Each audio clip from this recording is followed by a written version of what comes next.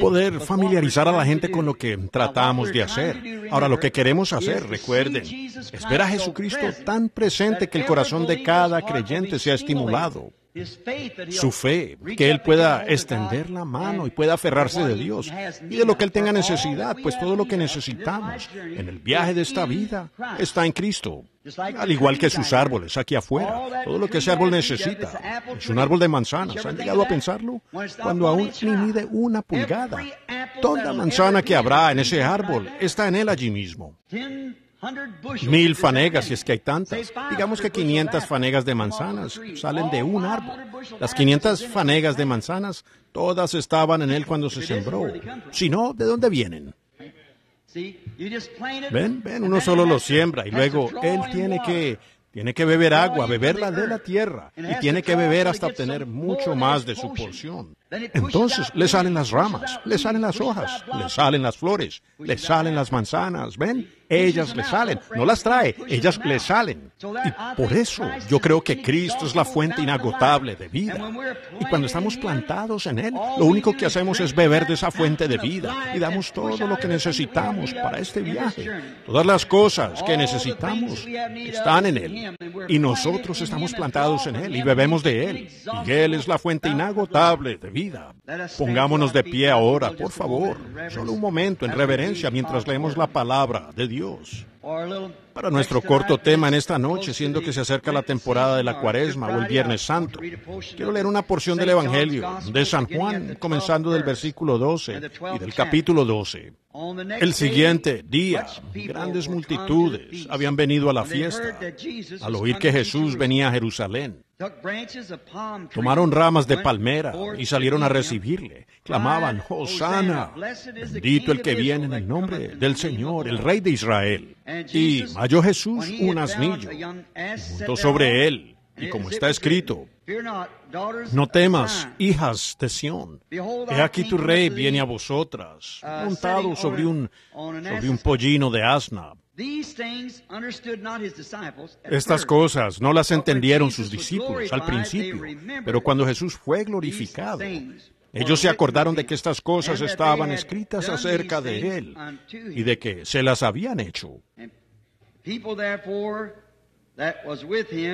Y daba testimonio a la gente que estaba con él de cuando llamó a Lázaro de los muertos, por lo cual también había venido la gente a recibirle, porque había oído que él había hecho esta señal. Pero los fariseos dijeron entre sí, ¿ya veis que no conseguís nada? Mirad, el mundo se va tras él.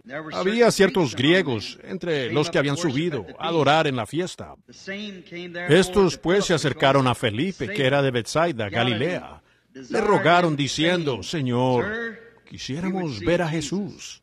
Felipe fue y se lo dijo a Andrés. Entonces Andrés y Felipe se lo dijeron a Jesús. Hebreos 13, 8 dice, Jesucristo es el mismo, ayer, hoy y por los siglos.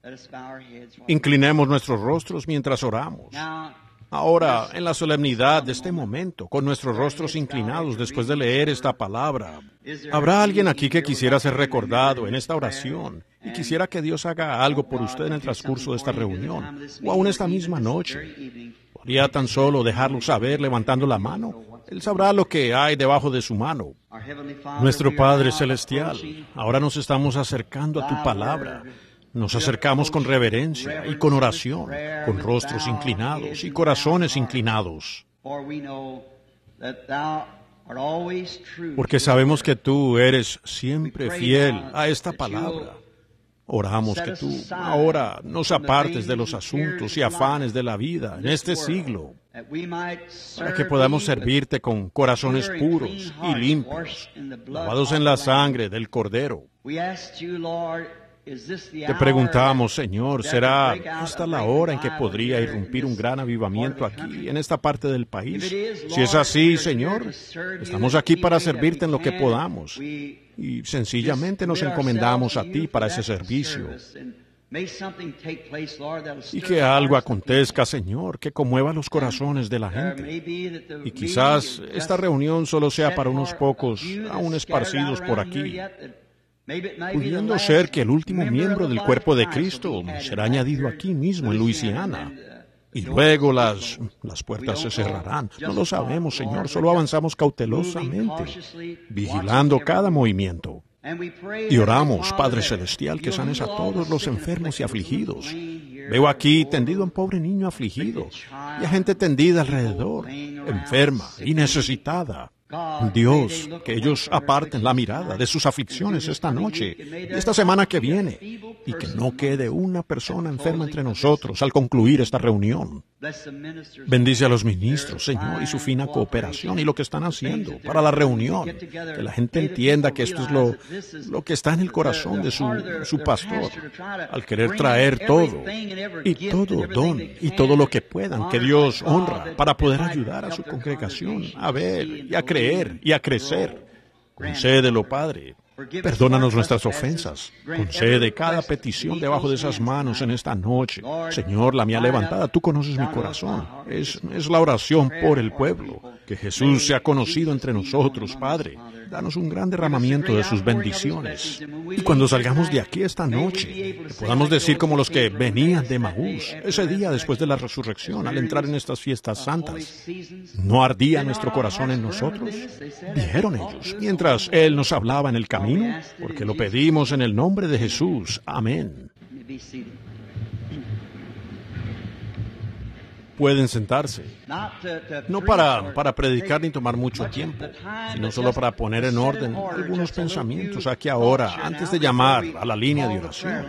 En unos 25 minutos, supongo, llamaré la, la línea de oración para orar por los enfermos. Y ahora cada noche el señor Borders y los demás intentarán explicarles cómo es y cómo se lleva a cabo una sanidad y demás. Y recuerden, no estamos aquí solo queriendo representar la sanidad divina. Estamos aquí para representar a Jesucristo. Y en Él está la sanidad. Y cada atributo de Dios está en Él. Y nosotros. Él ha comprado nuestra salvación, nuestra sanidad y todo lo que tenemos. Y la sanidad es algo menor. Uno no puede darle una importancia mayor a algo menor. Sabemos eso. Así que estamos, pero tratamos, cerca del 86% del ministerio de Jesús fue de sanidad divina, para poder atraer la atención de la gente y luego explicar cuál era su propósito allí. Y sigue igual. Queremos continuar su ministerio de la mejor manera que sabemos, creyendo que Él sigue siendo el mismo ayer, hoy y por los siglos. Ahora, sabemos que en el principio era el verbo, y el verbo era con Dios, y el verbo era Dios, y aquel verbo fue hecho carne y habitó entre nosotros. Por lo tanto, Dios y su palabra son lo mismo. Es Dios en forma escrita. Uno no es más que su palabra. Dios no es más que su palabra. Así que esta gran fiesta que viene aquí ahora en estos días, esta cuaresma, como le llaman, y se acerca al Viernes Santo y, luego el domingo de Pascua. Falta una semana para el domingo de Pascua, creo. Pues esto ya viene. Pensé en leer esta escritura, en la que estos griegos con un corazón hambriento vinieron a adorar en la fiesta de la Pascua. Y pocos se imaginaban que ese era el Cordero de la Pascua que Cristo lo seguía. Pero sus corazones estaban hambrientos. Ellos querían verlo a Él. Habían oído hablar tanto de Él y sabían de las grandes cosas que habían oído que Él había hecho. Y no cabe duda, al venir a esa fiesta, deben haber leído mucho en la Escritura sobre lo que Él era y su su naturaleza y lo que él haría cuando viniera. Así que ellos querían ver. Se acercaron a los discípulos de él y se les dio el privilegio de verlo por la, la buena voluntad y el ministerio de sus discípulos. Ellos fueron traídos a su presencia por sus siervos. Y ahora, si Hebreos 13:8 dice que Jesucristo es el mismo ayer, hoy y por los siglos, y estoy seguro que aquí en, en, Baton Rouge, que estamos igual de hambrientos de ver a Jesús como lo estaban ellos en aquel entonces. Yo, todo hombre que está en sus cabales y oye acerca del Señor Jesús, anhela verlo. Oh, cuando primero oí de él siendo un muchacho, yo, yo, yo casi no podía soportarlo. Pensaba, si él es Dios, él, él siempre fue Dios, él, él siempre será Dios. Y querer ponerlo en algún gran momento, en el pasado, o, o algún gran momento por venir, esa es la naturaleza del hombre. El hombre siempre alaba a Dios por lo que él hizo, mirando al futuro por lo que él va a hacer, e ignorar lo que él está haciendo. Esa sencillamente es la naturaleza del hombre. Siempre ha sido así y aún sigue así en esta noche. Pero ahora estos griegos querían verlo a Él y nosotros queremos verlo. Bueno, ahora, si Él ha resucitado de los muertos y no, Él no está muerto, Él está vivo. Y si Él está vivo, como dice la Escritura, entonces ¿por qué no podemos verlo nosotros? Tenemos derecho a preguntar. Recuerden, Él dijo, todavía un poco y el mundo no me verá más. Pero vosotros me veréis, porque yo estaré con vosotros, aún en vosotros, hasta el fin del mundo. El mundo no me verá, pero vosotros me veréis. Y ahora, si Él es el mismo ayer, hoy y por los siglos, entonces ¿por qué no pudiéramos verlo? Ahora, si yo acudiera a las diferentes ideas que hemos tenido, y recuerden que Dios nunca hace nada fuera de lo que Él ha prometido hacer, Vean, Él siempre hace la promesa, luego viene para cumplirla. Dios en el principio conocía el fin desde el principio, porque Él era infinito, todos sabemos eso. Él es omnipresente, omnipotente e infinito. Ahora, si Él es infinito, entonces Él conocía todas las cosas. Y ahora, y omnisciente. Y noten, por tanto, Él asignó sus escrituras a través de las edades por venir. Y entonces cuando llega esta edad, pues siempre tratamos de, de tener todo explicado de la manera que pensamos que es correcto. Pero usualmente, si Dios ha hecho una promesa para esa edad, de manera acostumbrada de hacer cualquier cosa, pues nunca cambia al hacerlo. Recuerden, Dios nunca cambia, nunca cambia sus maneras. Pues por esa razón podemos definitivamente poner nuestra fe en lo que Dios dijo que es la verdad. La Biblia. Ahora usted tiene que colocar a Dios en algún lugar. Ahora, si Dios fuera a juzgar al mundo, y Él lo hará, si dijéramos, si yo tal vez le dijera al católico francés, ¿por cuál creen que Él lo juzgará? La Iglesia Católica Francesa. El católico romano cree que lo juzgará por esa iglesia. Los ortodoxos, los griegos católicos ortodoxos creen que lo juzgará por esa. Los metodistas dirían por nuestra iglesia, el bautista por nuestra iglesia, el pentecostal. Vean, sería tan confuso, al punto que una persona no sabría qué hacer. Pero Él dijo que juzgaría al mundo por Jesucristo. Y Jesucristo es la palabra. Así que Él juzgará al mundo por la palabra. Ahora la Biblia es la revelación completa de Jesucristo. Esta es la revelación. No se le debe añadir nada ni quitarle nada a ella.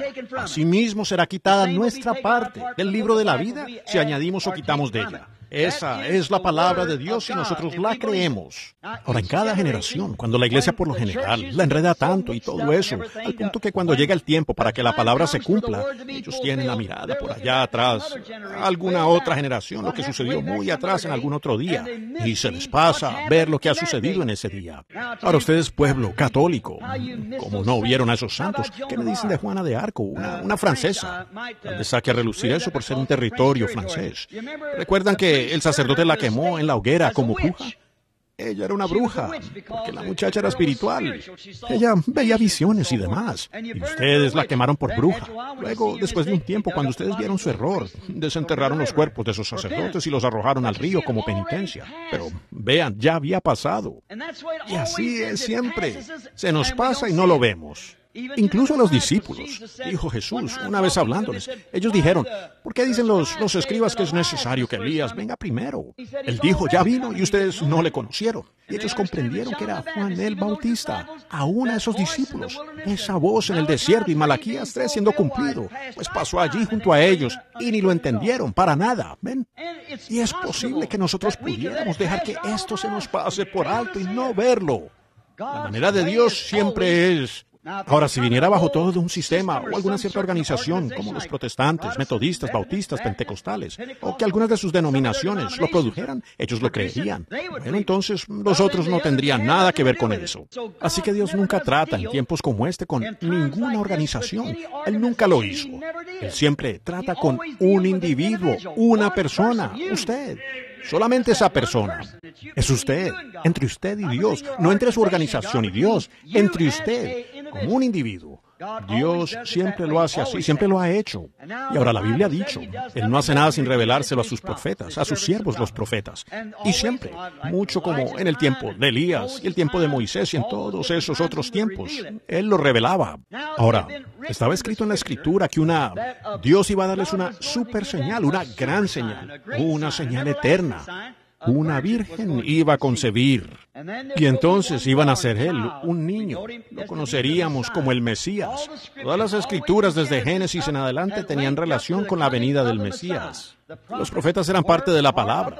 Jesús dijo que eran llamados dioses, y lo fueron, siempre y cuando la palabra de Dios viniera a ellos. Él dijo, ¿cómo me podéis condenar cuando digo que soy el Hijo de Dios?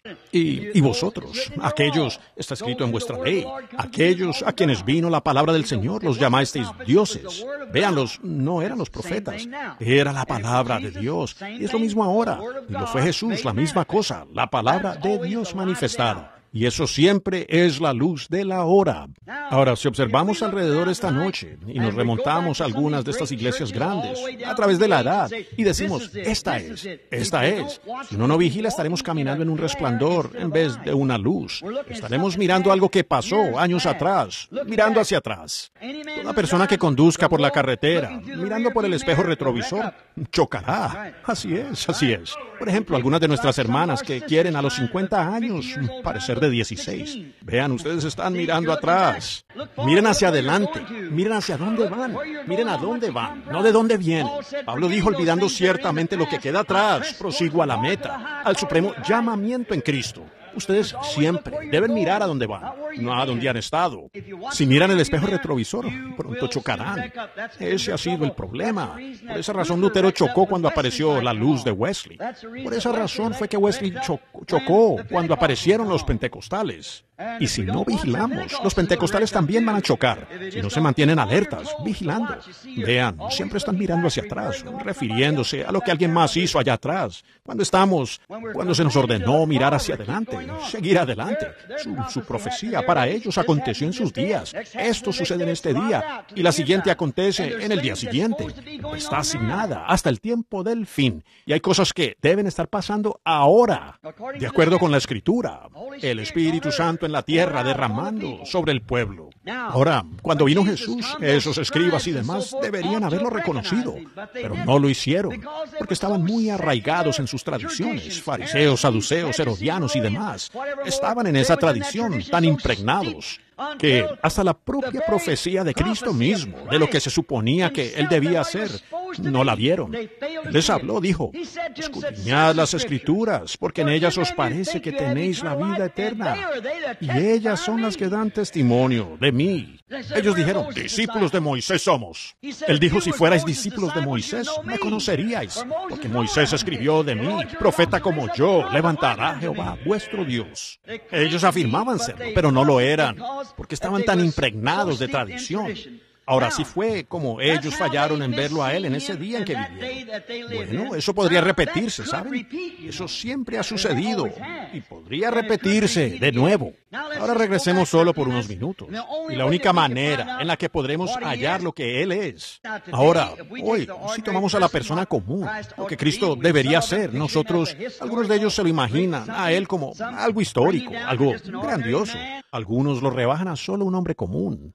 Y algunos lo presentan como un filósofo, un profeta o, algo así. Un buen hombre, un maestro.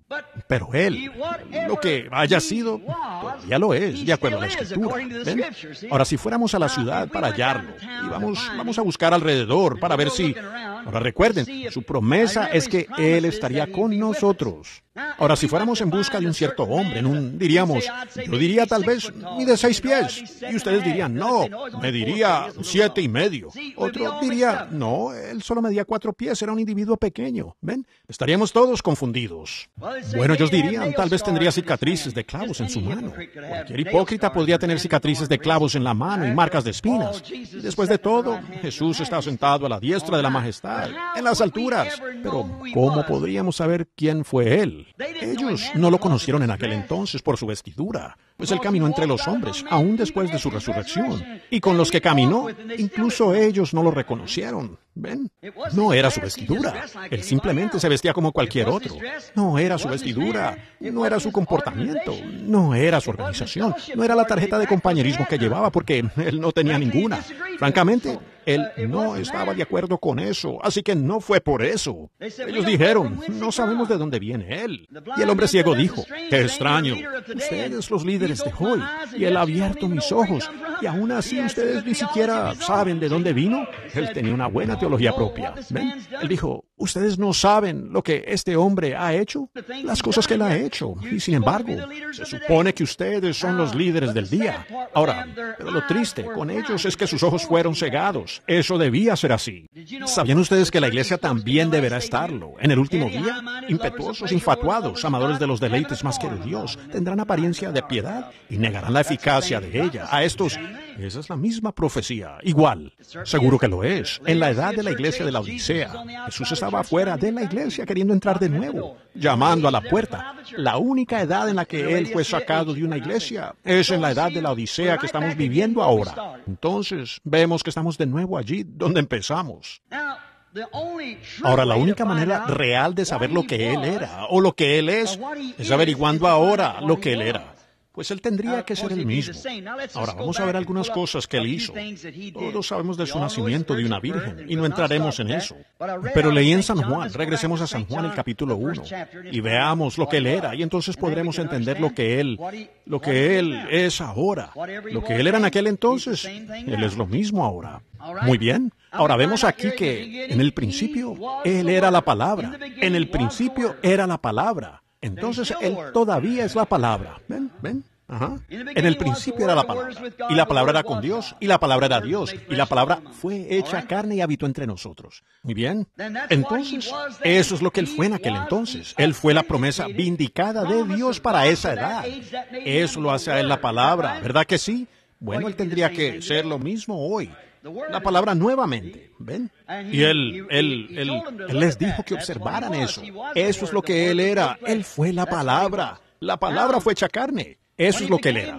Ahora, fue cuando él vino a ser la palabra y Dios descendió en la forma del Espíritu Santo, o en forma de paloma, y vino sobre él y dijo, este es mi Hijo amado, en quien me complace morar.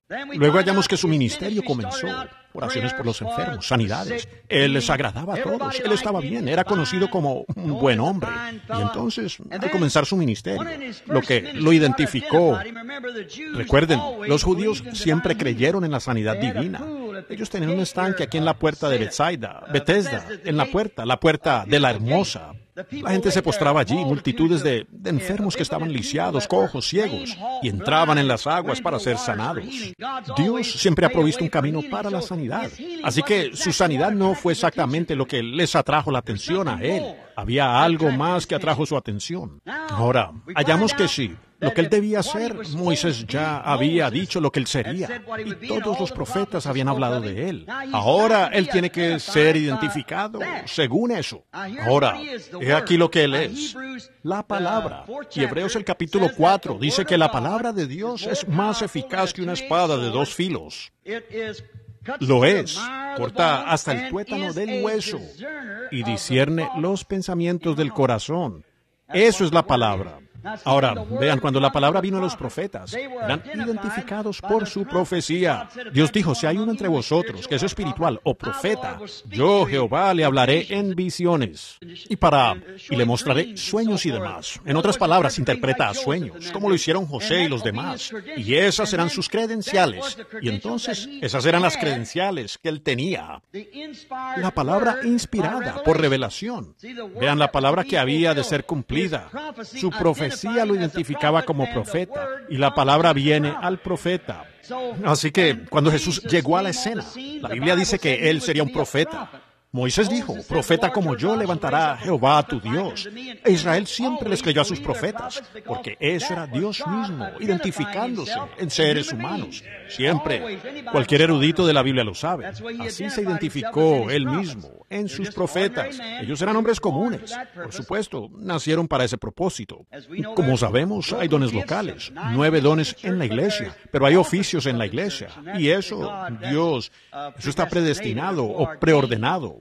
Dios constituyó en la iglesia apóstoles, luego profetas y maestros, pastores, evangelistas y demás. Esos son los dones de Dios establecidos en la iglesia. Luego hay nueve dones espirituales que operan en el cuerpo local y de creyentes. Y deben ser revisados por dos o tres jueces antes de que sean dados a la iglesia, porque a veces podrían estar equivocados. Pero fíjense, estos profetas, naciendo ellos, como en, creo aquí en Jeremías, Dios dijo, antes que fueras concebido en el vientre de tu madre, te di por profeta a las naciones. Lo ven, Moisés nació profeta y Juan el Bautista 712 años antes de nacer. Él era la voz del que clama en el desierto. Isaías el profeta hablando de él.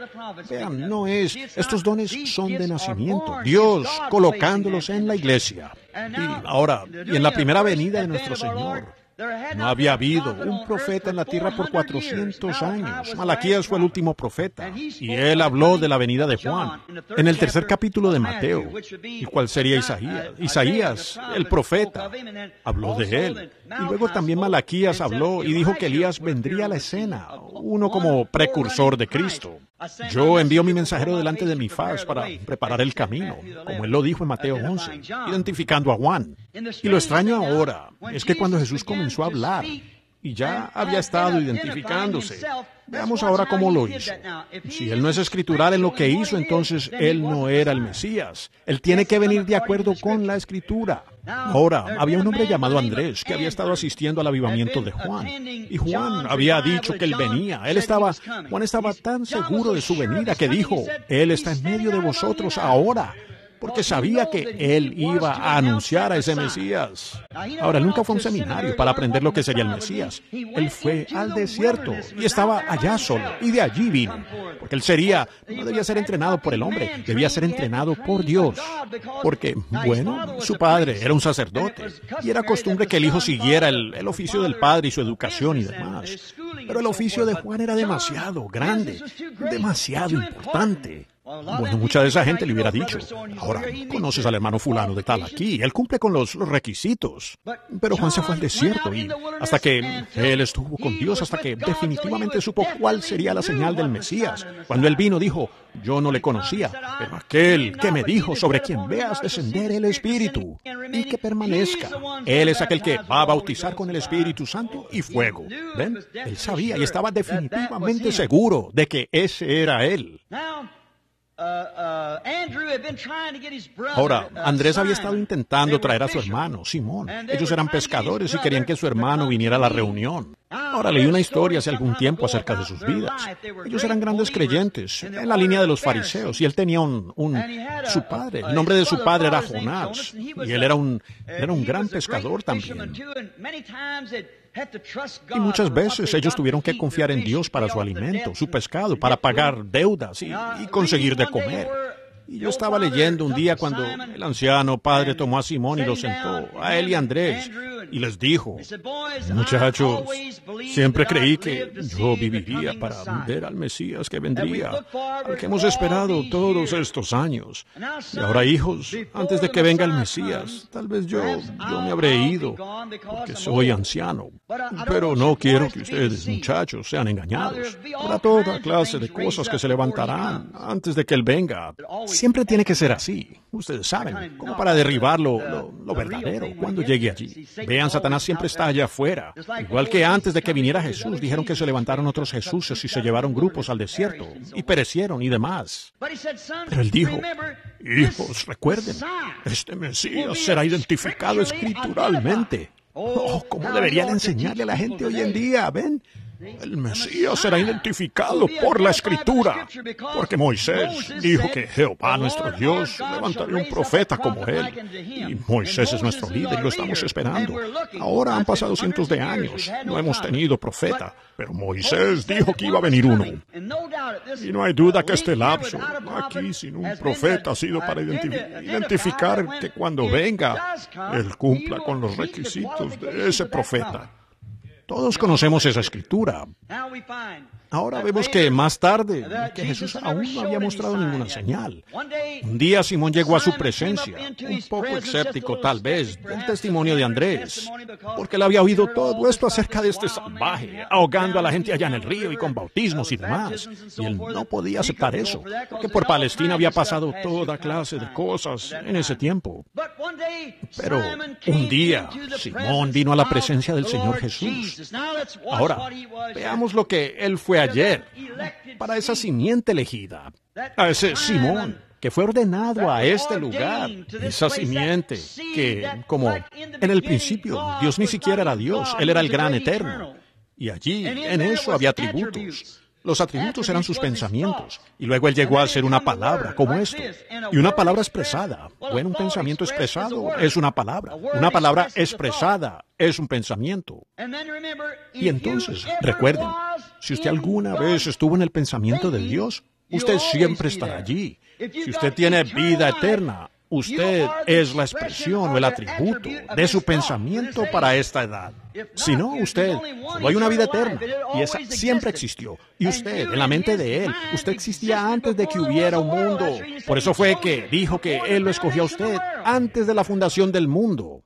No es por algún pensamiento nuestro lo que alguien más piense. Es por Dios, el eterno. Usted siempre estaba, ven, en el pensamiento de Él. Estaba en Él ser hombre. Por eso Cristo fue la imagen expresada, ven. Ahora Él iba a ser Padre, Él iba a ser Hijo, Él iba a ser Salvador, Él iba a ser sanador. No existía nada, ni siquiera había un ángel ni nada. Entonces Él creó ángeles y llegó a ser Dios. Él fue adorado. Así que estas son las manifestaciones de su pensamiento. Nada anda mal. Todo va a salir bien. No tengan miedo. El tic-tac, el gran reloj de Dios, marcha bien. Ella estará allí. Él tendrá una iglesia sin mancha ni arruga. Ella estaba en su pensamiento. El asunto es, ¿estaré yo incluido allí? ¿Estará usted allí? Y aquí estaba Él, el pensamiento eterno de Dios, expresado en el oficio de hijo. Oh, vaya, pues allí estaba Dios, Emanuel. Noten entonces, Él era la palabra. Ahora aquí, estaré dejando los sordos, no quiero gritarles. A veces hablamos en lugares grandes, al aire libre, y no quiero terminar a los gritos. Ahora que quien quiera que lo esté controlando, bájemele por favor si se sube demasiado.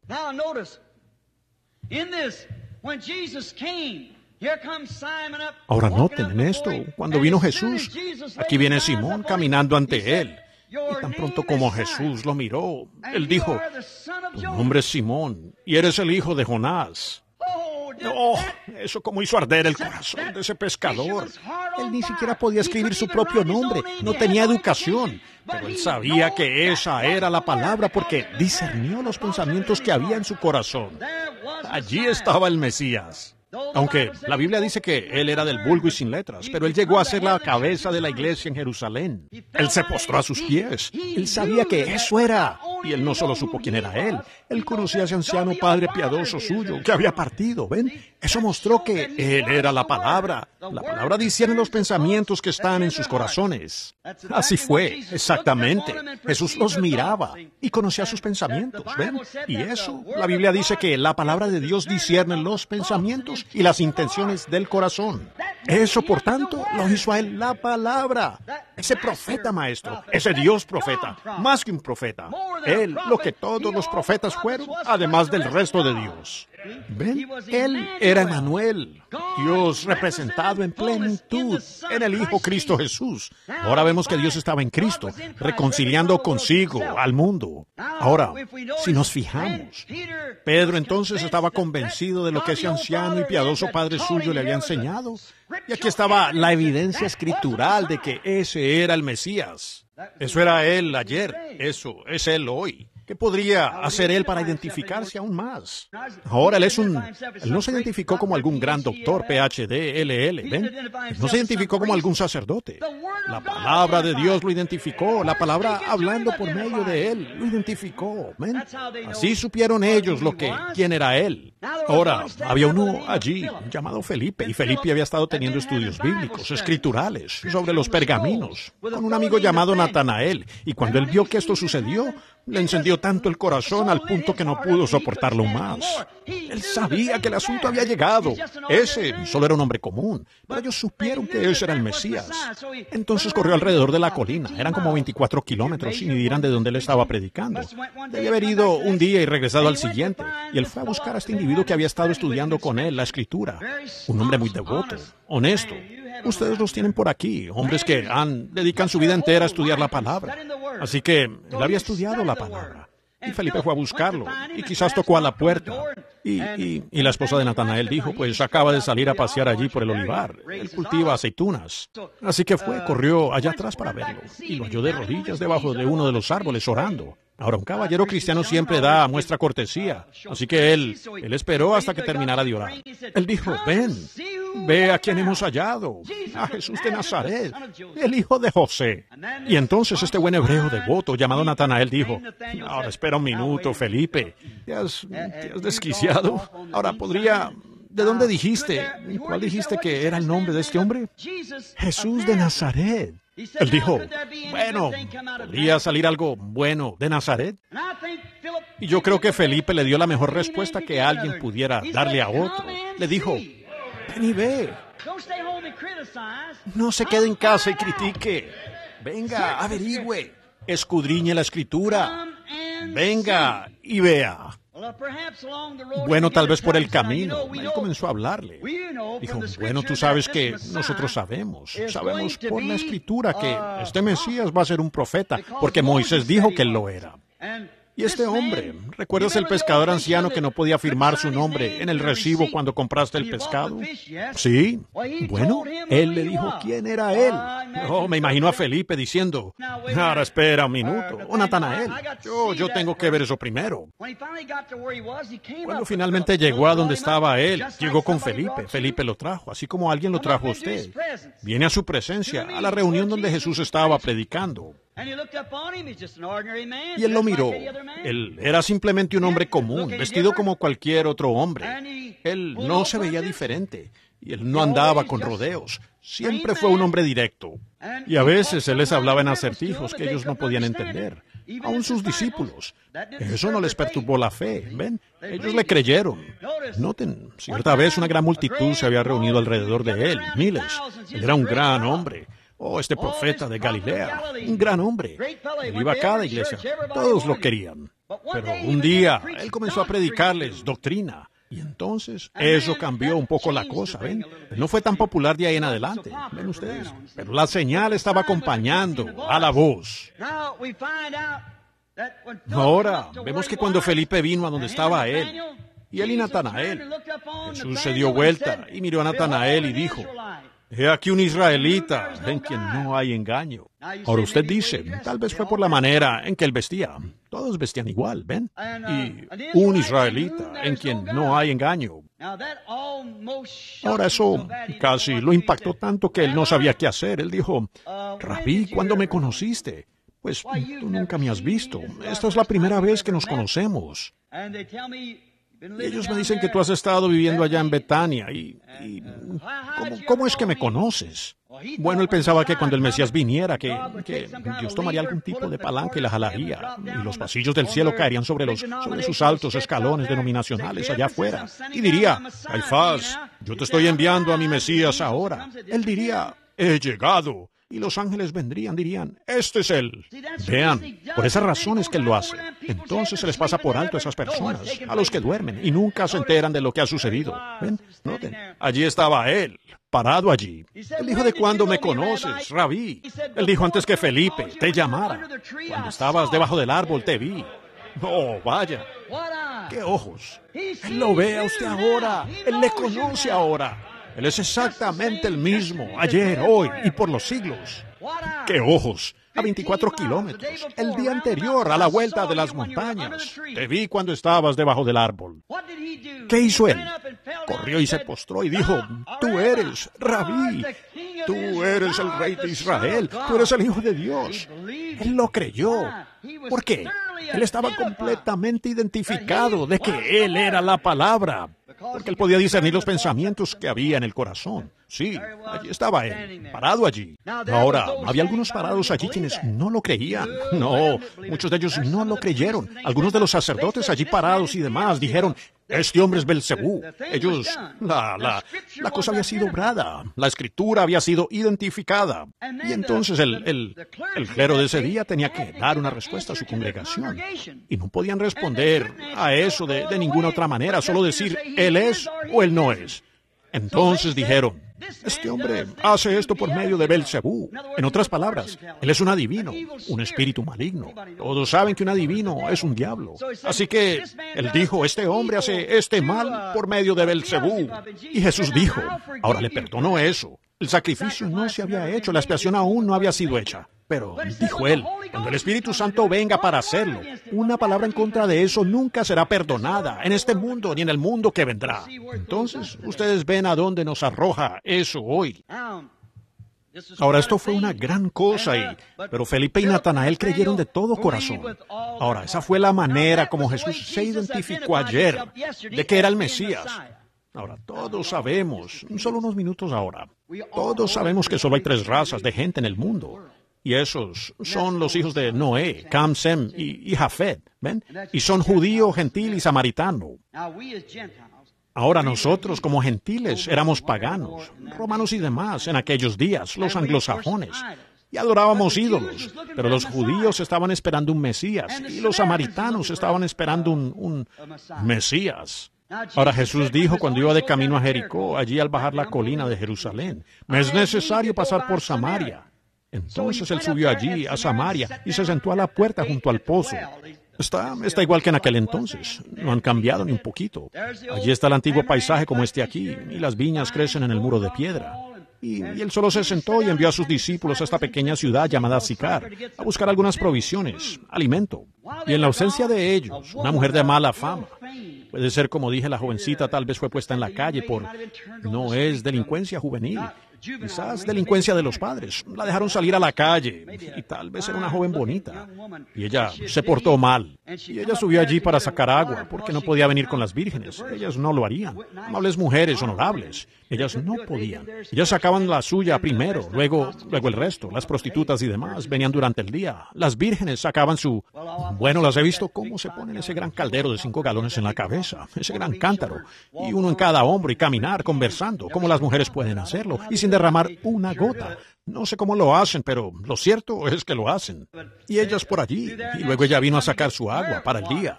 Las demás ya se habían ido. Debía haber sido como al mediodía.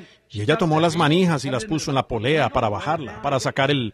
Vean, es como una especie de vasija, y tiene, tiene un, un agarradero y ponen esos ganchos alrededor de esas agarraderas y al ser pesada cuando llega abajo se voltea. Luego giran la polea para subir el agua, así como en tiempos hemos hecho aquí en estas regiones y demás. Pero ellos tienen algo como un bebedero, donde bajamos eso allí. Ahora, vemos, vemos que ella comenzó a bajar esta jarra en el pozo y escuchó a alguien que dijo, mujer, tráeme de beber. Ella miró alrededor, vio a un hombre de mediana edad sentado allí.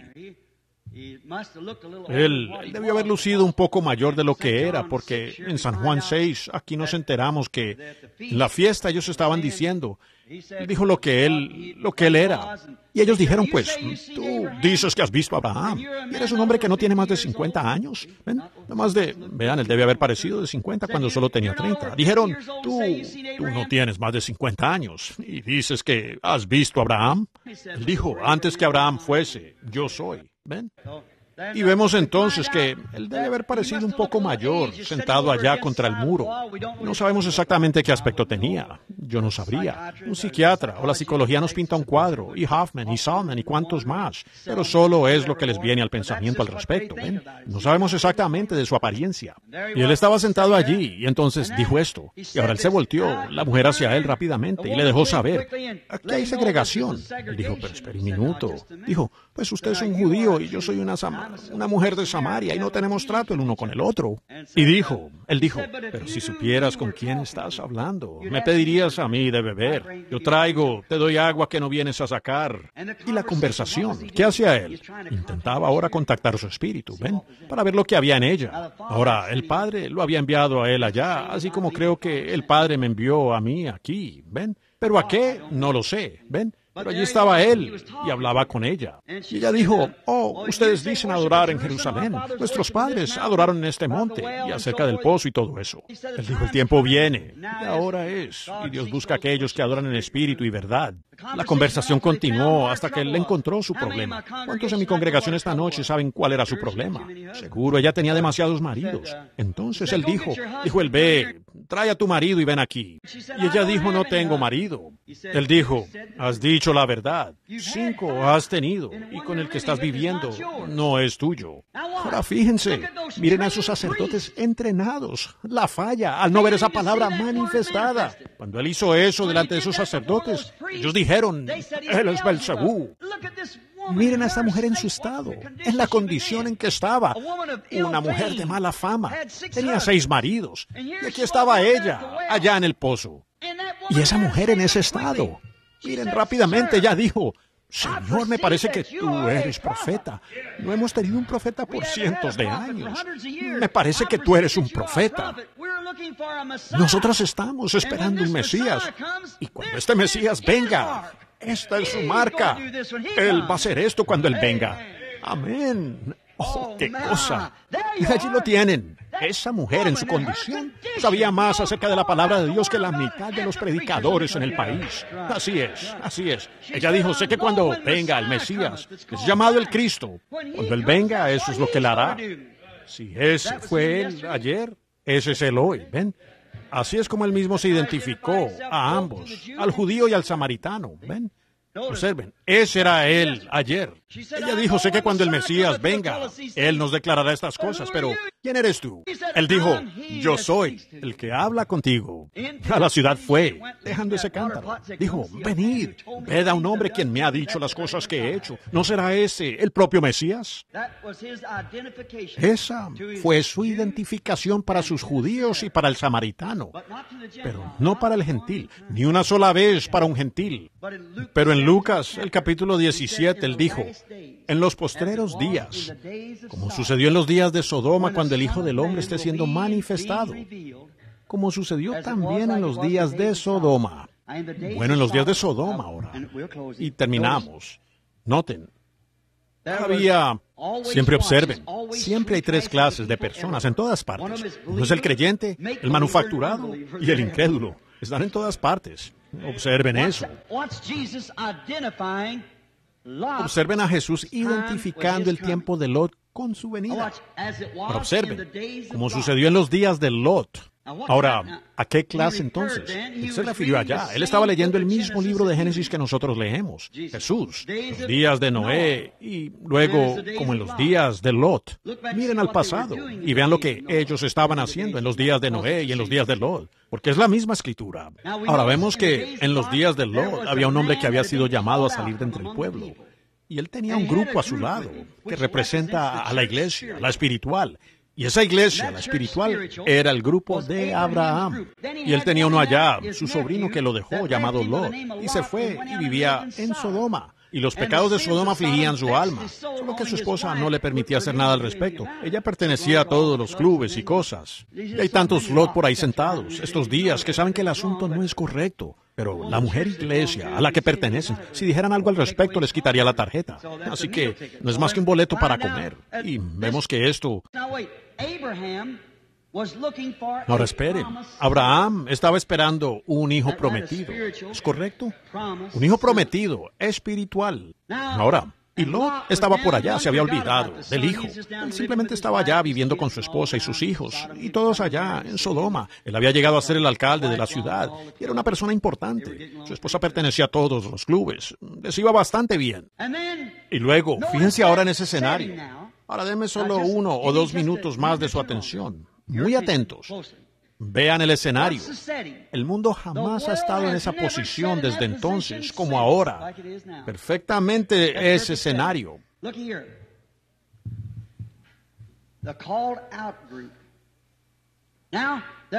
Miren aquí, el grupo llamado a salir. Ahora, hubo tres ángeles que vinieron a Abraham y dos de ellos fueron allá a Sodoma. Uno de ellos se quedó con Abraham y aquel que se quedó con Abraham. Aquellos dos bajaron a Sodoma y predicaron arrepentimiento y salgan de aquí, huyan de ella, dijo él.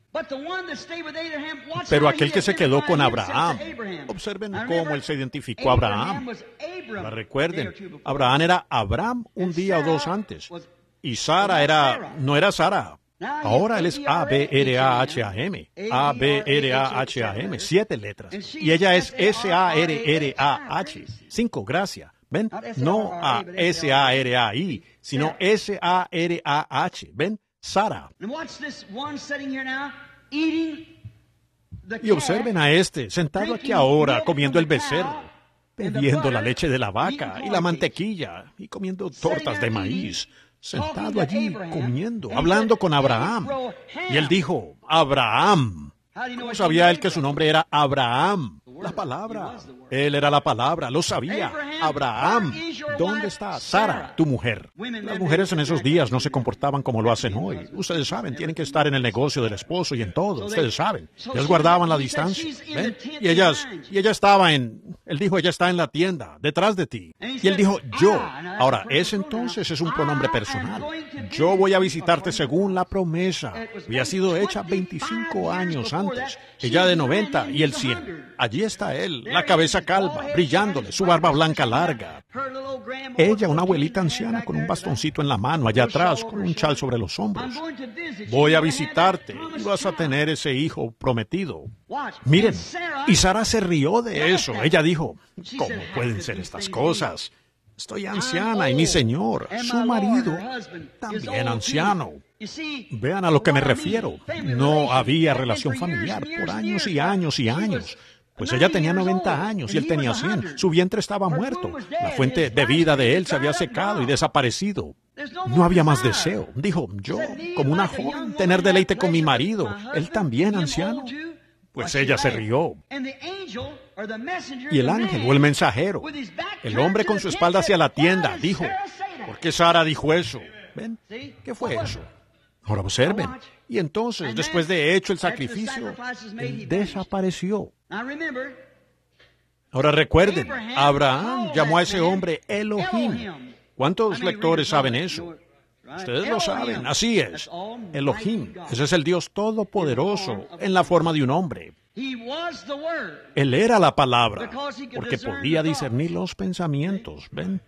Dios en carne, de que da testimonio, que en los últimos días, dijo Jesús, justo antes, cuando el Hijo del Hombre esté siendo manifestado a su iglesia prometida, la iglesia que no está por allá en Babilonia. Tenemos una iglesia de Babilonia, ustedes lo saben, las denominaciones. Ellas están en Babilonia. Y tenemos un, un Billy Graham y un Oral Roberts. Y ellos, allá afuera, de hecho, dándoles duro. Y recuerden, cualquiera de ustedes, historiadores, nunca ha existido un hombre en toda la historia de las edades de la iglesia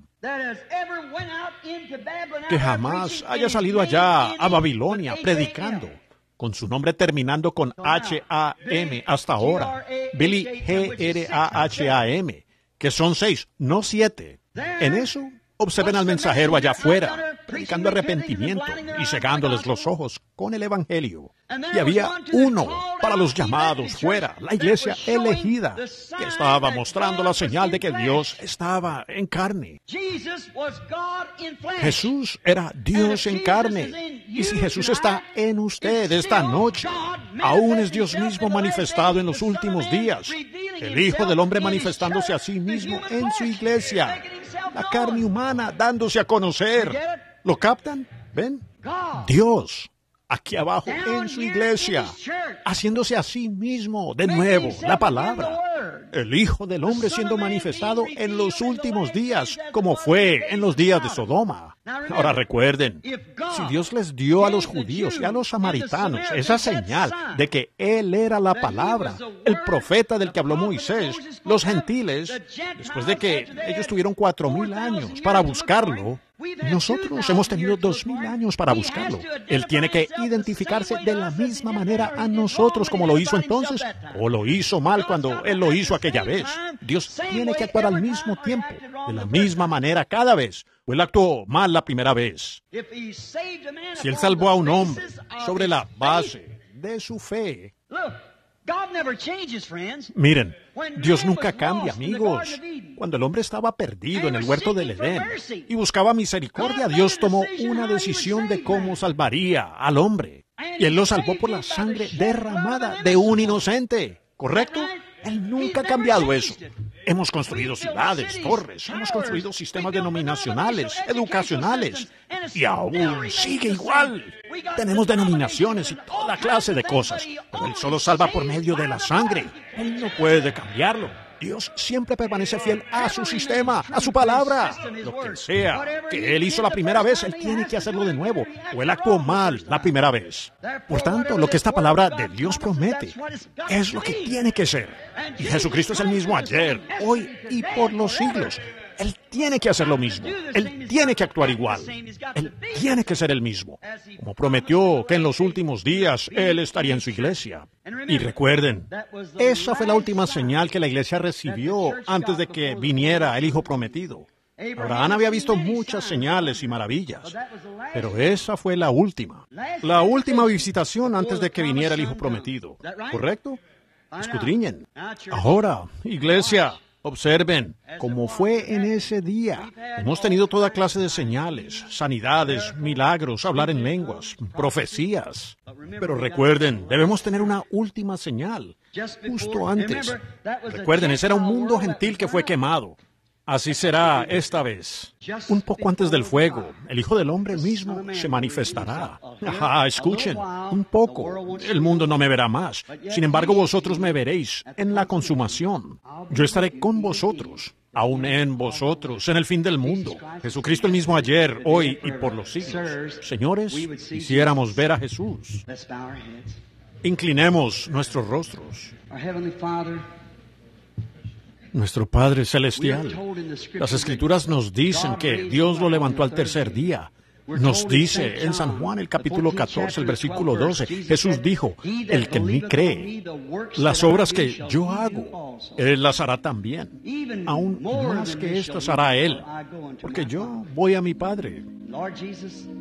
Señor Jesús, las horas están volviendo oscuras y tenues.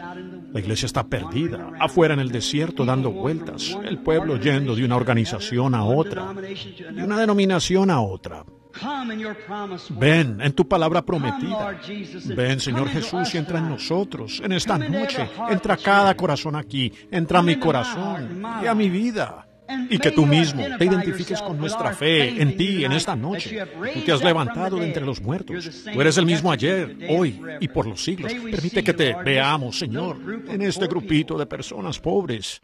Mientras estamos todos aquí reunidos, estamos aquí porque buscamos vida. Qué cosa más grandiosa, saber que la resurrección y la vida está entre nosotros, identificándose a sí mismo, no con alguna cosa mística, sino conforme a la palabra prometida, como fue en los días de Noé y como en los días de Lot, cuando el Hijo del Hombre esté siendo manifestado. Oro, Padre, que lo concedas en esta noche para las personas aquí que están enfermas y necesitadas, y los que están enfermos del alma, los que solo se han unido a la iglesia y no saben nada acerca de recibir el Espíritu Santo, y que lo vean puntualizar cada palabra con un amén que está en la Biblia. La Biblia es un libro misterioso para ellos, no pueden entenderlo. Que ellos reciban al intérprete de la palabra en esta noche no necesita a nadie para interpretarla más que Él. Haciéndola real en sus vidas. Concédelo, Padre, lo pedimos en el nombre de Jesús. Amén. Quizás me retrasé diez minutos en esta noche por haberme extendido. Perdónenme, pero solo vamos a llamar algunas de las tarjetas de oración, permitiendo que oren por ellas. Voy entonces a pedirles una cosa ahora. No, no se levanten ni caminen alrededor, por favor. Solo quédense quietos, a no ser por, por un niño pequeño o algo que tengan que sacarlo. Pero si solamente se quedan quietos por unos minutos, solo y veamos si Él viene. Si viene y se identifica a sí mismo en esta noche. Señores, quisiéramos ver a Jesús y ustedes pueden ver su vida viviendo a sí mismo, haciendo exactamente lo que él hizo allá, porque él tendría que hacer lo mismo. ¿Ven? Él dijo, yo soy la qué? Vi. ¿Vosotros los qué? Pámpanos. Bueno, ahora, ¿cómo es que la clase de vida que está en la vid tendrá que estar en el pámpano? Ahora, miren, digamos que aquí, hoy, ustedes no cultivan fruta por aquí, frutas cítricas y demás. ¿Cómo? Ciruelas, muy bien. Cultivan Miren aquí, si su vid crece y produce una rama de esa vid, y el fruto que esté en esa vid, si esa vid produce otra rama, será de lo mismo. Estaba parado con mi amigo hace un par de años en Arizona, el señor Sharit, y él tenía un árbol cítrico allí, creo que tenía nueve frutos diferentes, y tenía limón, toronja, mandarina, tangerina, naranja. Le dije, ¿qué variedad de árbol es ese? Dijo, es un naranjo. Bueno, dije, bueno, ¿cómo llegaron aquellos allí? Él dijo, los injerté. Oh, dije, ya veo, hermano Sharit. Dije, creo que el hermano Sharit estaba conmigo la última vez que estuve aquí. Y entonces dije, bueno, hermano Sharit, ahora el próximo año todos serán naranjas y no serán... Oh, no, no, no. Ah, ah. Él dijo, la toronja producirá una toronja, el limón producirá un limón. Bueno, dije, ¿cómo es eso? Él dijo, todo es cítrico. Oh, entonces lo entendí. Dije, eso es. Dije, gracias Señor. Vean, nosotros injertamos nuestras organizaciones en esta vida. Ellas vivirán de la vida, pero produce esa clase de fruto que ella es. Pero si ese naranjo alguna vez saca otra rama, traerá naranjas. Y si esa vida viene de Jesucristo y ellos siguieron esa primera iglesia escribiendo un libro de los hechos, si ella produce otra, se escribirá otro libro de los hechos detrás de ella, con lo mismo porque tiene que ser lo mismo.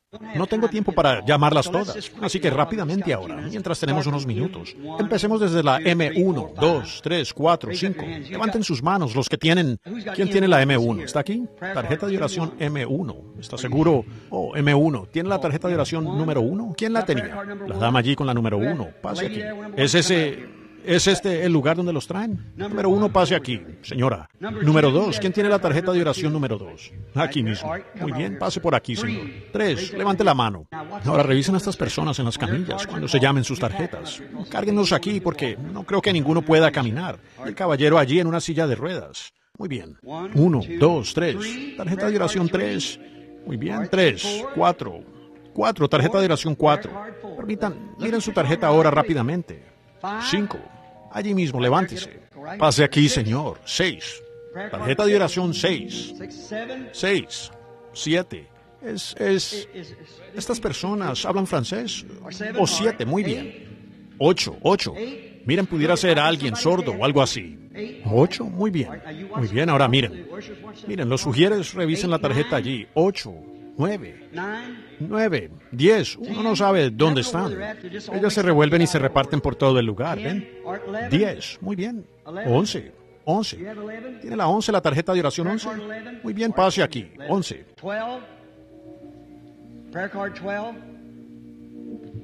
Doce. Tarjeta de oración doce. Es posible. ¿Hablan francés? ¿Qué? ¿Qué? ¿Ah? Oh, si me he reunido con usted. Usted habla francés, ¿verdad? Doce.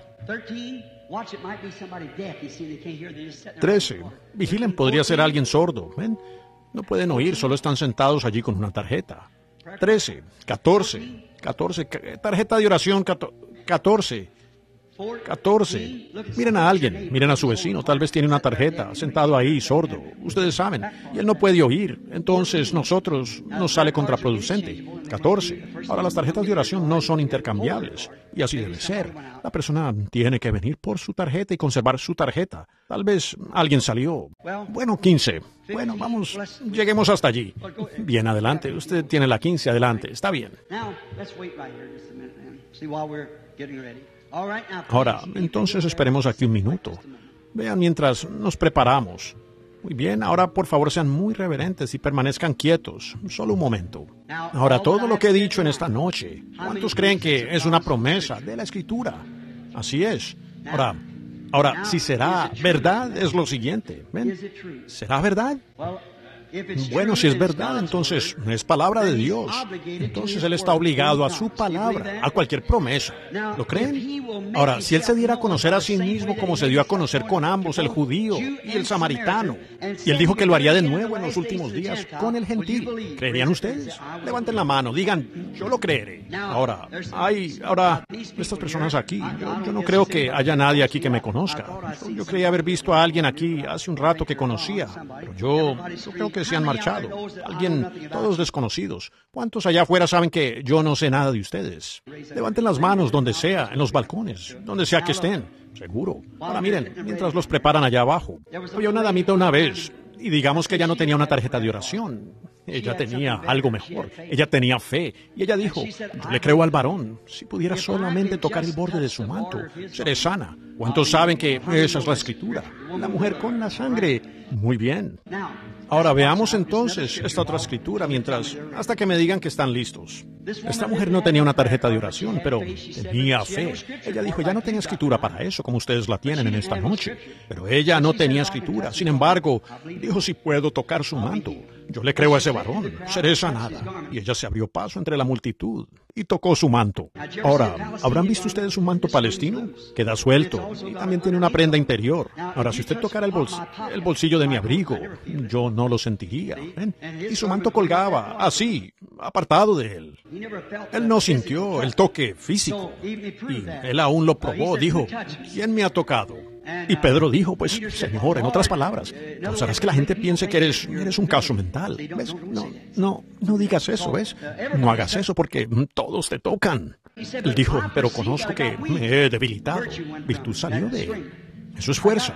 Me he debilitado. Él miró entre la multitud y encontró a la mujer. Le dijo acerca de su flujo de sangre y dijo que su fe la había salvado. ¿Cuántos conocen la historia? Es verdad. Ahora pues, ministros, hermanos aquí arriba, bueno, la Biblia dice que Él es el sumo sacerdote en esta noche, que puede compadecerse de nuestras debilidades, ¿correcto? ¿Cuántos allá afuera lo creen? Él es el sumo, sentado a la diestra de Dios en esta noche, un sumo sacerdote que puede compadecerse de nuestras debilidades. Entonces, ¿cómo actuaría Él si usted lo tocara? Actuaría de la misma manera que en aquel entonces, si Él es el mismo ayer, hoy y por los siglos, ¿correcto? Y ahora usted crea, y usted ore, y usted confíe, vea lo que Dios hace, vea si usted puede tocar su manto. Usted tóquelo. Diga, Señor Jesús, yo sé que ese predicador no me conoce. Él no sabe nada de mí, pero tú sí. Entonces, Señor, cuando yo te toque, habla por medio de él. Ahora, ¿qué es esto? Un don no es algo que uno toma como una, una hoz o un, un cuchillo y va con ese cuchillo como un don, cortando. Así no es con un don de Dios. Un don de Dios solo es, un don de Dios es saber uno cómo relajarse, hacerse uno mismo a un lado, para que Dios pueda entrar y usarlo a uno. No es algo que uno tiene en la mano, con lo que uno corta por donde va. Uno mismo simplemente se hace a un lado y deja que el Espíritu Santo lo use. Bueno, ahora, ¿no es así como ustedes hacen cuando hablan en lenguas, ustedes los pentecostales? Simplemente háganse ustedes mismos a un lado. Bueno, es lo mismo aquí ahora. Y si Él lo concede, lo creen y lo aceptan ustedes sabiendo que su presencia está aquí, entonces usted no necesitará tarjeta de oración. ¿Qué me dice del, del juez de los cielos y de la tierra? Como se dirigió Abraham a él, juez del cielo y de la tierra, ¿harías lo injusto? ¿Ven? Si él, en estos últimos días, de acuerdo con su promesa ahora, en la semana continuaremos presentando escrituras, mostrándoles que esa es la verdad. Y si él está aquí con nosotros, en esta noche, tan claro que usted puede ver sus obras y saber que él está aquí, siendo su palabra prometida, no algo mítico, sino lo que su palabra prometió, que él estaría. Entonces, usted créale a él. Ahora, pues yo no sé. A veces, si las visiones vienen, luego yo no sé lo que estoy diciendo, entonces que el, micrófono y lo que sea quien esté allí le suba. Quiero que sean muy reverentes solo por un momento. Ahora, ¿es esta la, la dama? Ahora aquí. Sucede que es una mujer, justamente de lo que estaba hablando. San Juan 4, una mujer y un hombre se conocen por primera vez en la vida. Soy un completo desconocido y somos completamente desconocidos el uno para el otro. Si así es, solo levante la mano para que la gente vea. Nunca antes nos hemos conocido en la vida. Allí está parada la mujer. Yo aquí, exactamente una cosa perfecta de nuestro... Usted no es la mujer de allá. Y yo no soy el Señor. Pero son, son dos personas que se conocen aquí, en un lugarcito como ellos se conocieron, por primera vez en su vida. Ahora, si Él es el mismo ayer, hoy y por los siglos, Él quizás hablaría con usted por un minuto. Vean cómo lo hizo con la mujer. ¿Ven? Ahora el Padre, el otro día, cuando hace poco, cuando el hermano Borders aquí teníamos 600 y tantas invitaciones aquí en los Estados Unidos, además del extranjero. Él dijo, Baton Rouge, Louisiana, hay un grupo de hombres allá abajo. Yo dije, adelante, está bien, organiza la reunión allá. Tuve el sentir de hacerlo. Y aquí estoy. Ahora no sé qué sigue, sencillamente estoy aquí. Es todo lo que sé. ¿Ven? Ahora aquí está usted, una persona. Yo estoy predicando la palabra, diciendo que Él no está muerto, Él está vivo. Él está vivo y prometió identificarse a sí mismo en nuestra carne, carne humana, como Él lo hizo allá atrás. Ven todo lo que Dios era, Él lo derramó en Cristo. Todo lo que Cristo era, lo derramó en la iglesia. Ese es Él, Cristo en nosotros. Ahora, si el Señor Jesús se ha levantado de los muertos y yo lo trajera a usted aquí y le pusiera las manos, y tal vez como algunos de nuestros hermanos evangelistas, exactamente lo correcto, y pusiera las manos sobre usted y dijera, su enfermedad se ha ido, el Señor le ha sanado, eso estaría bien, usted podría irse, eso está bien, yo ciertamente respaldo eso, 100%, eso es lo que dice la Biblia. Pero, ahora, ¿qué? Si Él se para aquí y le dice algo que usted ha hecho o algo que no debió haber hecho, si Él sabe lo que usted ha sido y le dice lo que ha sido, y usted sabe si es verdad o no, entonces, si Él le dice lo que va a ser su futuro, si eso es cierto, esto también va a ser cierto, ¿correcto? Eso prueba que es Él. ¿Ven ustedes? Ahora, solo estoy diciendo eso para contactar su espíritu. Vean, igual que Él lo hizo con la mujer junto al pozo. Tráeme de beber. Entonces hay una cosa ahora que quiero que noten. Observen a la mujer. Observen el cambio de expresión en su rostro en este momento. ¿Ven? Ella está consciente de que algo sucede. ¿Cuántos han visto la fotografía de esa luz? Vean, está justo sobre la mujer ahora. ¿Ven? ¿Ven? ¿Ven? ¿Ven? Vean, ella está, ¿la ven allí? Es como una luz ámbar, moviéndose. Ahora, el problema de ella es este. Ahora, si yo pudiera sanarla, lo haría, pero no puedo. Yo no puedo sanarla. Dios es el sanador. Es la fe suya en Dios. Usted está extremadamente nerviosa, sufre una condición de nervios y además tiene un problema en la garganta, casi no puede hablar, a duras penas susurrar. Es una glándula tiroides. Así es. Ahora, ¿cree usted? Ahora un momento, solo para que no piensen que lo adiviné. Un minuto, vean. Yo sí lo digo para que la gente no piense. Usted es una persona agradable. Y con usted tengo un buen contacto, con el Espíritu Santo, ¿ve? Y ahora, sí, a usted se le ha aconsejado operarse, pero usted ha rehusado. Esa es la pura verdad. Usted está esperando que Dios... Sí, Señor. Otra cosa, usted tiene un problema de asma que le molesta. Eso es verdad, ¿no es así? Ahora, ¿ve usted? Algo aquí la conoce, ¿correcto? ¿Cree usted que es Él? Entonces créalo y baje de la plataforma y sea sana. Y crea con todo su corazón. Amén. ¿Creen ahora de todo corazón? Si ustedes pueden creer. ¿Cómo está, Señor? Soy un desconocido para usted, supongo. Si nosotros, usted, usted me conoció cuando estuve aquí antes en Baton Rouge. Vaya, eso fue hace mucho tiempo, ¿verdad?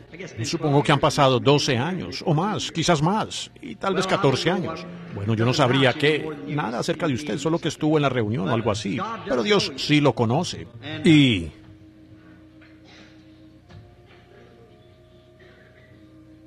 Es una luz, tengo que observarla, ver a dónde va, ¿ven?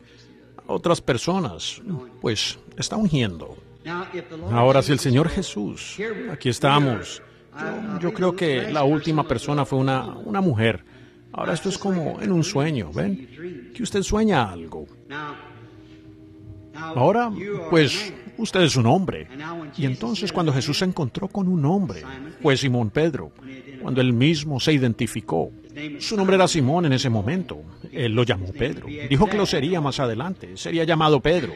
Si el Señor Jesús me dijera cuál es su problema, ¿creería usted que soy su siervo? ¿Y creería que Él está presente? ¿Creerá a sí mismo cada hombre aquí presente? Tal vez se ha conocido aquí porque usted es de la ciudad. Veo algo. Usted está un poco alterado por algo. Eso, sí, así es, es por la sangre. Algo mal con la sangre. Usted está sangrando en los intestinos. Esa es la pura verdad. Está causando úlceras ahí también. ¿Ven? Pues eso es verdad, ¿no es así? Ahora, ¿Cree usted? Así es como nuestro Señor lo habría hecho. ¿Verdad que sí? Es Él haciéndolo. ¿No lo cree? Y si Jesús le dijo a Simón cuál era su nombre, y si Dios me dijera cuál es su nombre, ¿me creería? Muy bien, Señor. Lewis Carey. Esa es la pura verdad. Siga su camino. Amén. Tenga fe en Dios. ¿Creen ustedes? Él es el mismo ayer, hoy y por los siglos. Ahora yo soy un desconocido para usted, hermana. No la conozco, no la he visto en mi vida. Usted simplemente es una mujer parada aquí, más joven que yo. Nacimos a millas de distancia y con años de diferencia. Pero Él es el mismo ayer, hoy y por los siglos. ¿Lo cree usted? ¿Cree usted que eso? Ahora usted sabe que estar al lado de un hombre, su hermano aquí, no la haría sentir así. Usted sabe que tiene que haber algo más en esa presencia. Muy dulce, humilde, mansa, ¿no es así? Si así es, para que la congregación lo sepa, solo levante la mano para que ellos puedan ver. Vean, la estoy mirando directamente. Esa luz girando alrededor de ella. La dama está parada aquí por alguien más. No está aquí por ella misma. No es por una hija. Así es. ¿Cree que el Señor puede decirme que usted está planeando traer a esa muchacha a la reunión? Pero, ¿usted, ¿usted cree que Dios puede decirme cuál es el problema de ella? ¿Creerá y pondrá ese pañuelo sobre ella? ¿Y creerá que sanará? Está en su espalda. Así es, exactamente. Vaya, crea ahora. Póngaselo y ella sanará. Muy bien, solo créalo. ¿Creen de todo corazón? Si podéis creer, a los que creen todo les es posible. ¿Cómo está usted? Somos desconocidos, me supongo. Yo no la conozco, usted no me conoce a mí, pero el Señor nos conoce a los dos. Así que somos un hombre y una mujer que se conocen por primera vez. Ahora nuestro Señor le dijo una sola cosa a esa mujer y toda la ciudad creyó. Ellos no, Él no lo hizo más. Él solamente lo hizo una vez y toda la ciudad creyó. Ahora, no, no sienta miedo. Nada la va a perturbar, la va a ayudar. ¿eh? Porque yo no creo que usted sea una crítica o usted, esa vibración de lo que el Espíritu del Señor no se captaría de esa manera. Usted es una creyente, así que no tiene por qué alarmarse. Usted está sufriendo de una, una hernia. Eso exactamente. ¿Y cree que el Señor Jesús la sanará de eso? ¿Y si le dijera que usted tiene otro problema, la fortalecería para creer? Usted tiene un nudo. Si puedo decirle, no está en su mejilla, está en su espalda. Si así es, mueva la mano. Muy bien. Ahora crea. Vaya. Crea correctamente y sea sana. ¿Creen ustedes ahora, cada uno de ustedes, de todo corazón? Ahora eso debería hacerles saber a todos que están en la presencia de Dios. Muy bien. Señor, ¿cree que Dios puede sanar esa artritis y restaurarlo? Si lo cree, solo siga caminando, diciendo, gracias Señor Jesús. Ahora pase por aquí, señora. También la veo tratando de levantarse de la cama, muy lentamente. También es artritis. Si usted cree de todo corazón, Dios la sanará. ¿Lo cree? Muy bien, solo siga caminando, diciendo, gracias Señor Jesús. Realmente lo creo de todo corazón. Muy bien. Venga, Señor. Un problema de nerviosismo y cosas. Y de próstata. Y también artritis. Y ponga eso sobre ella. Crea de todo corazón. Recupérese también. Ahora solo siga caminando, creyéndole a Dios. Y todo estará bien si usted tan solo puede creerlo. Muy bien. Venga por aquí, señora. ¿Cree que yo soy su siervo? ¿Lo cree? ¿Cree que Dios puede sanar ese problema del corazón que tiene? Bueno, solo siga caminando. Diga, gracias, Señor. Te doy gracias por sanarme de mi problema del corazón. Muy bien. Venga, señor. ¿Cree que lo que usted ve es la verdad? Y si yo le dijera que ese problema del estómago ya fue sanado allí abajo y que vaya a comer su cena, ¿lo creería? Muy bien. Vaya, coma su cena, usted va a estar bien. Tiene que hacerlo. Usted tiene una sombra. Cáncer. ¿Cree que Dios le da salud y lo sanará? Muy bien, solo siga caminando. Diga, gracias Señor Jesús. Yo creo de todo corazón. Un corazón nervioso también. ¿Cree usted que Dios le sanará y lo restaurará? Solo siga caminando. Diga, gracias Señor Jesús. Y créalo de todo corazón. Pase por aquí, señora. Mire aquí. Lo principal, usted tiene varios problemas, un problema femenino, pero el asunto principal es el problema del corazón que la está molestando mucho. ¿Cree que Dios sanará eso y le dará salud? Pues siga adelante, diciendo gracias Señor Jesús, yo creo de todo corazón. Muy bien. Venga Señor, hay dos o tres cosas que usted sufre, complicaciones, pero lo principal por lo que usted quiere que ore o pida es esa artritis que sufre. Mire la artritis, solo siga moviéndose, creyendo, y nunca tendrá que usar ese bastón. Amén. Créalo de todo corazón. Usted tiene problemas en el estómago. Ha causado, lo ha tenido por mucho tiempo. Es una condición nerviosa que causa úlceras en el estómago. Usted bebe cualquier cosa que sea, que sea como café o algo. Le da griera en la boca y cosas así. Vaya, Crea ahora y no le molestará más. Jesucristo lo sanará. Venga, señora. ¿Cree que Jesucristo? Un minuto. Un minuto. ¿Cree usted que Dios puede sanar esa sinusitis sentada allí y restaurarla de la sinusitis? ¿Lo cree de todo corazón? Nada más sentada allí con el vestido que parece a cuadros. ¿Cree que Dios la sanará y la restaurará de eso? Usted tenía más fe de la que creía tener. Todo está bien. Ha concluido ya. Crea. ¿Qué piensa? ¿Usted cree que Dios lo sanará y lo restaurará de ese problema de nervios? Sentado allí. Ese hombre. ¿Cree? ¿Lo cree? Ahora, ¿a quién tocó usted? No me tocó a mí. Usted lo tocó a él. Fue eso que lo hizo. Amén. Usted se dobló en el regazo y estaba teniendo problemas con los ojos. Sus ojos están empeorando tanto que apenas puede desplazarse. ¿Y usted que Dios lo sanará? Créalo y puede recibirlo. Amén. Los reto a que lo crean. Problema. Problema al estómago. Acaba de dejarle. ¿Lo cree? Ahora siga su camino y regocíjese. Y diga, gracias Señor.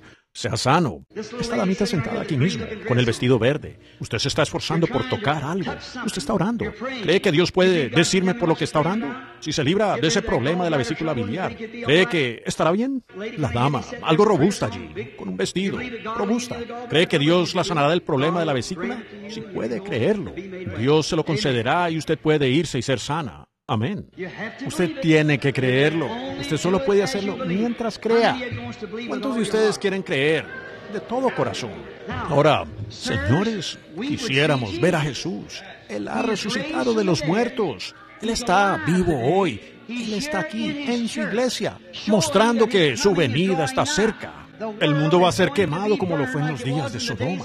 Los átomos ya se han juntado en, cargas y demás para ponerlo en llamas. Y antes de que suceda eso, llegará el Hijo prometido en persona, Jesucristo, para llevarse a casa a su iglesia. ¿Lo creen de todo corazón? ¿Creen que Él es el mismo ayer, hoy y por los siglos? ¿Cuántos creen ahora que su presencia está aquí y creen que Él hizo esta declaración?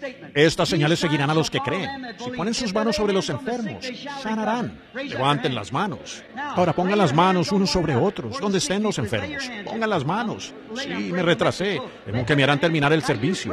Pongan, pongan sus manos. Ahora, ore los unos por los otros. No ore por usted mismo. Ore por aquel sobre el que tiene sus manos. Ahora, Él está aquí para sanar a cada uno de ustedes. Créanlo. Padre Celestial. Creemos ahora con todo nuestro corazón que en la presencia de Jesucristo, el Hijo de Dios, que el diablo ha perdido su poder, su influencia, y Jesucristo vive ahora. Sal, Satanás. Estas personas queden sanas para el reino de Dios.